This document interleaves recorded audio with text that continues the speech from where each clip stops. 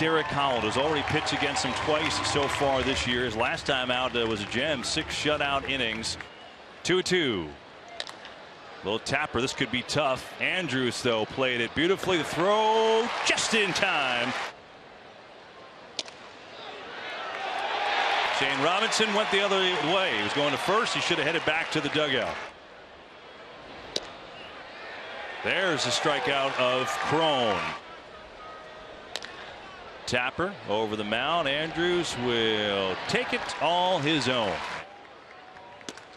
And he got him on your call 94 miles an hour. It's kind of an angry 94 upstairs with that fastball. That's what he has to get back to. One and two from Derek Holland. And there's a strike. Paints the corner with 93. When you have a fastball like that, there's no reason to try to trick hitters.